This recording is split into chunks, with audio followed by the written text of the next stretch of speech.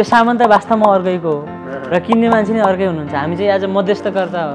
ग्राहकहरूले चाहिँ के सोच्नुहुन्छ भन्दाखेरि वेबसाइट अर्थात् एप्लिकेसनबाट सामान किनिसकेपछि चाहिँ त्यो सामान चाहिँ एसवाई बजारबाटै किनेको यो सामान एसवाई बजारको हो भन्नुहुन्छ।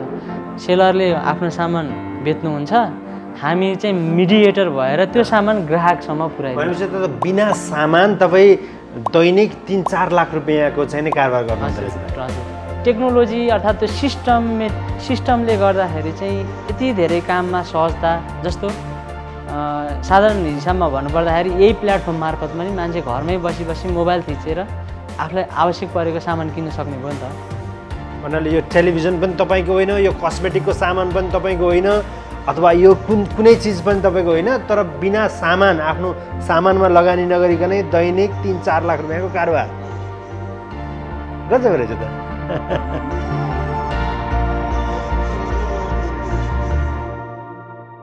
प्याकिङ भएको चिजहरू चाहिँ तपाईँहरूलाई कहिले अर्डर आएको होइन? अनि कहाँ कहाँको कन्ज्युमरहरू चाहिँ यहाँ अर्डर गर्ने चाहिँ? अब यो हिजो अर्डर आएको हो सर होइन? अर्डर आउने बित्तिकै सेलरहरूलाई जुन सेलर हुनुहुन्छ यो सामान लिएर बस्नुहुने सेलर उहाँहरूलाई पनि त्यो नोटिफिकेसन जान्छ। उहाँहरूले अब त्यो प्याकिङ गरिदिइ हाल्नुहुन्छ कि? प्याकिङ गरिदिइसकेपछि चाहिँ अब हामीले अब हिजो बाह्र बजी पठाइ आएको आज हाम्रोमा आएर यो प्याक भइसक्यो। लगभग अब आज काठमाडौँभित्रको चाहिँ आज नै तपाईँको डेलिभर भइसक्छ। यो चाहिँ लोगो हो हाम्रो। एसवाई बजार भनेर। अनि यसमा चाहिँ अब एप्लिकेसन प्ले स्टोर र एप स्टोरबाट डाउनलोड गर्न मिल्छ। अनि यसमा चाहिँ हजुरहरूले बारकोडमा ट्याक्क अहिले त अब बारकोड सिस्टमहरू पनि धेरै विकसित भइरहेछ। तर यो बारकोडमा थिच्नु भयो भने पनि क्लिक गर्नुभयो भने पनि यसबाट पनि डाइरेक्ट हजुर लिङ्क जस्तो यो क्युआर कोड यदि स्क्यान गरियो भने चाहिँ तपाईँको वेबसाइट आउँछ कि एप्लिकेसन आउँछ? एप्लिकेसन आउँछ। अच्छा अच्छा। एप्लिकेसन डाइरेक्ट एप्लिकेसन आउँछ। फोटोमा हेरेर अर्थात् भिडियो हेरेर अर्थात् त्यसको साधारण डिस्क्रिप्सन हेरेर सामान मगाएको हुन्छ।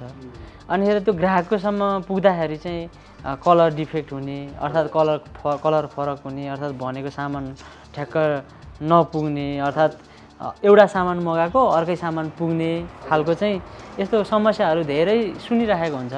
त्यसले गरेर हामीले चाहिँ उताबाट लिएर ग्राहकलाई के अरे सेलर हामीसँग अर्डर आइसकेपछि सेलरमा सेलरबाट आएको सामान चाहिँ ग्राहकले मगाएको जस्तो जेन्युन छ कि छैन?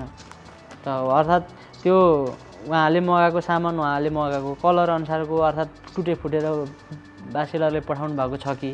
होइन सीमित पैसाको लोभमा।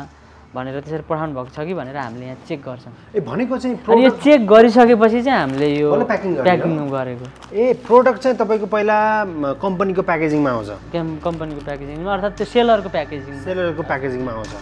अनि त्यो सेलरको त्यसमा टुटफुट छ कि खोलेरै हेर्नुहुन्छ कि? त्यसमा हजुर हामी त्यो त्यो खोलेरै हेर्छौँ। खोलेर हेरेपछि त्यस त्यो मगाएको के अरे मगाएको जुन ग्राहकले मगाउनु भएको छ सामान त्यो सामानसँग ठिक छ कि छैन डिस्क्रिप्सन ठिक छ कि छैन त्यो सामानको हरेक कुराहरू ठिक छ कि छैन भनेर चेक गरिसकेपछि अनि यो हामीले चाहिँ हाम्रो अब स्टिकर टाँसेर यो ठिक छ यो सामान सही छ भनेर चाहिँ हामीले अब प्याकिङ गरेर चाहिँ स्टिकरसहित अनि यो यो हाम्रो छुट्टै प्याकिङ हो। किनभने कन्ज्युमरलाई त थाहा हुन्न नि त कुन कम्पनीले बेचेको कुन कम्पनीले चाहिँ कारोबार गरेको भनेर। कम्पनीलाई त यो एसवाई बजारबाट किनेको सामान कतिले आयो आयो? आएन भन्नेसँग नै सरोकार हुन्छ। हामी त एज अ मार्केट प्लेस हौँ। यो सामान त वास्तवमा अर्कैको हो। र किन्ने मान्छे नै अर्कै हुनुहुन्छ। हामी चाहिँ एज अ मध्यस्थकर्ता हो क्या? तर ग्रा मध्यस्थकर्ता हो। तर ग्राहक ग्राहकहरूले चाहिँ के सोच्नुहुन्छ भन्दाखेरि वेबसाइट अर्थात् एप्लिकेसनबाट सामान किनिसकेपछि चाहिँ त्यो सामान चाहिँ एसवाई बजारबाटै किनेको यो सामान एसवाई बजारको हो भन्नुहुन्छ। एसवाई बजारले नै बेचेको हो। भन्दा पनि केही फरक परेन नि त्यसरी सामान चेक गरेर पठाएपछि चाहिँ। हजुर यसमा सर्भिसको क्वालिटी पनि हुन्छ। र सामानको क्वालिटी सर्भिस क्वालिटी भनेको त उहाँहरूले ट्रस्ट गर्नुपर्छ होइन? हामीले एकचोटि भनिसकेपछि सर्भिस दिन सकेनौँ भने त कम्पनी लङ टर्मसम्म सस्टेन नै हुँदैन। अर्को सामानको क्वालिटीको केसमा चाहिँ सेलरकोबाट जब सामान हाम्रोमा आउँछ नि हामीले चाहिँ क्वालिटी चेक गरेर फर इक्जाम्पल जस्तै अब यो चस्मा अर्डर गरिएको छ भने यो चस्मा चाहिँ डिफेक्टिभ छ कि छैन? यो बेच्न योग्य छ कि छैन? र सा कस्टमरले लिन योग्य छ कि छैन? यो कुरा फाइनल गरेर मात्र हामीले डिस्ट्रिब्युट गर्छौँ।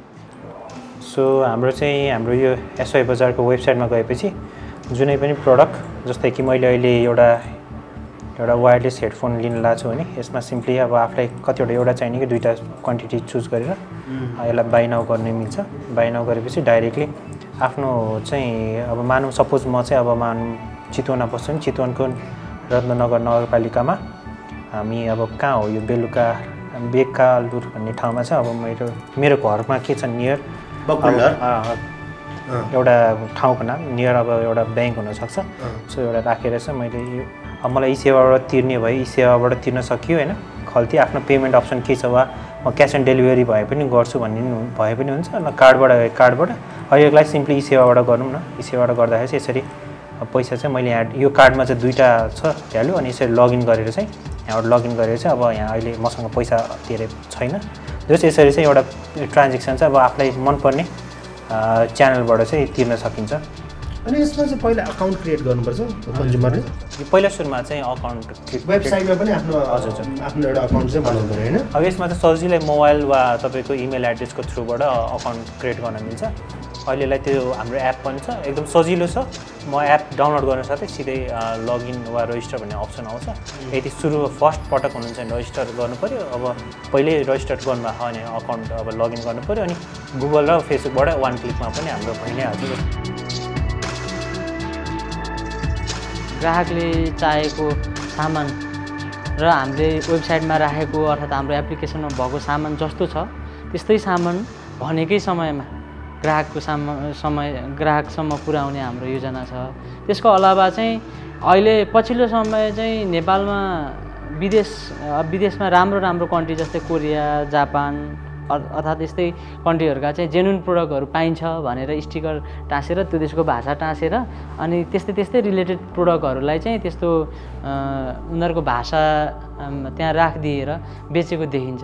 तर हाम्रो चाहिँ एउटा छुट्टै के अरे सोच चाहिँ के भन्दाखेरि चाहिँ हामी फरक के छौँ त भन्दाखेरि हामी कोरिया मेड इन कोरियाका सामानहरू ओरिजिनल सामानहरू र कोरियामै उत्पादित तथा कोरियन कम्पनीबाट उत्पादित क्वालिटी मेन्टेन भएका सामानहरू चाहिँ ल्याएर यसमा चाहिँ हामीले मेन्टेन गरेर क्वालिटी मेन्टेन गरेर चाहिँ हामी ग्राहक सामु पुग्ने हाम्रो योजना छ। त्यो भनेको चाहिँ तपाईँ अहिले चाहिँ यहाँ कैयन विक्रेताको सामान तपाईँ मध्यस्थकर्ता भएर कारोबार गरिदिइरहनु भएको छ। तर केही समयपछि तपाईँ जेन्युन कोरियन सामानहरू लिएर आएर आफैले खरिद बिक्री पनि गर्दै हुनुहुन्छ हो। हजुर अहिले हामी के अरे प्रोसेसमा छौँ।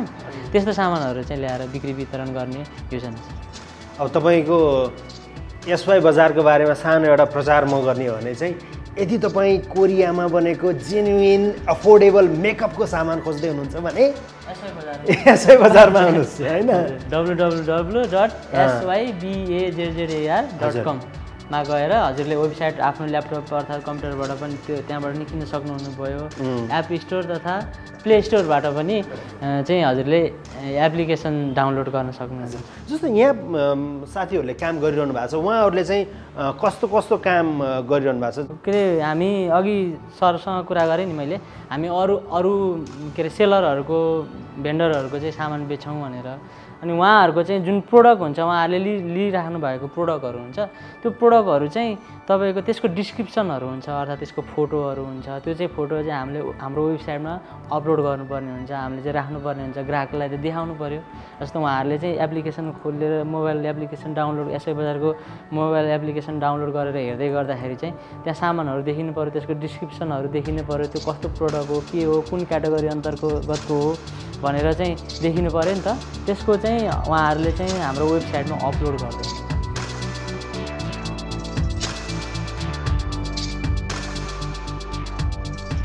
अनि हाम्रो अक्टोबर दस तारिकबाट चाहिँ हामीले वेबसाइट लाइभ लाइभ गरेर ग्राहक सामु जाँदै गइरहेका छौँ। यो समयमा चाहिँ हजुरको अहिले हाम्रो हजारको हाराहारीमा ग्राहकहरू हुनुहुन्छ। अनि त्यस्तै अब दिनको चाहिँ लगभग सय डेढ सयको हाराहारीमा हामीलाई हामीलाई चाहिँ नै अर्डरहरू आइरहेको छ। कति बराबरको दिनमा कति बराबरको चाहिँ सामानको किनबेच गर्नु? सामानको किनबेच चाहिँ अहिले सुरुवाती फेजमा अब पाँच सात दिन पनि भएको छैन होइन?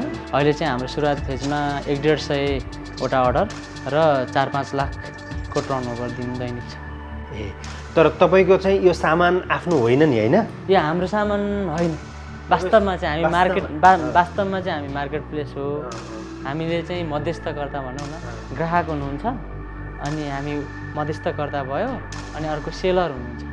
सेलरले आफ्नो सामान बेच्नुहुन्छ हामी चाहिँ मिडिएटर भएर त्यो सामान ग्राहकसम्म पुऱ्याइदिन्छ। भनेपछि त बिना सामान तपाईँ दैनिक तिन चार लाख रुपियाँको चाहिँ नै कारोबार गर्नुहुन्छ हजुर।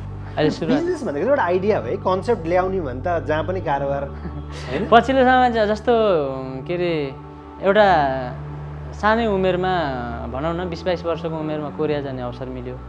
त्यहाँ जाँदा गर काम गर्दै गर्दाखेरि चाहिँ एउटा छोटो समयमा धेरै विकसित भएको देश भनेर चिनिन्थ्यो।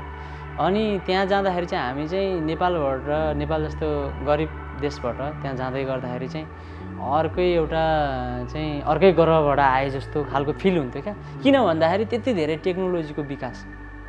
जस्तो साधारण हिसाबमा भन्नुपर्दाखेरि यही प्लेटफर्म मार्फतमा नि मान्छे घरमै बसी बसी मोबाइल थिचेर आफूलाई आवश्यक परेको सामान किन्न सक्ने भयो नि त। होइन? त्यस्तै गरेर जस्तो टेक्नोलोजीको विकास भनेको चाहिँ अहिलेको एक्काइसौँ शताब्दीमा चाहिँ सबैभन्दा महत्त्वपूर्ण रहेछ। त्यसले गरेर यो टेक्नोलोजी बिजनेस माइन्ड चाहिँ अलिकति अर्थात् टेक्नोलोजी बिजनेस प्लेटफर्म चाहिँ अलिकति भोलिको दिनमा सफलता प्राप्त गर्न सक्छ कि भन्ने अर्थात् सक् सक्छ नै भन्ने उद्देश्यका साथ चाहिँ सुरु गरियो। भन्नाले यो टेलिभिजन पनि तपाईँको होइन यो कस्मेटिकको सामान पनि तपाईँको होइन अथवा यो कुन कुनै चिज पनि तपाईँको होइन तर बिना सामान आफ्नो सामानमा लगानी नगरिकनै दैनिक तिन चार लाख रुपियाँको कारोबार। गजब रहेछ त।